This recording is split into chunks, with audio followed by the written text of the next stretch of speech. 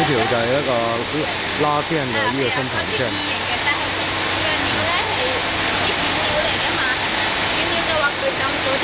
这个轮子咧就需要一些拉伸油。然后，然后每一个关节部位的活动位置都需要有一个润滑啦，包括一个螺丝需要螺丝松动。啊，这个是从粗到细的一个拉伸的整整组的一个设备。称之为一个拉拔天台的一个设备。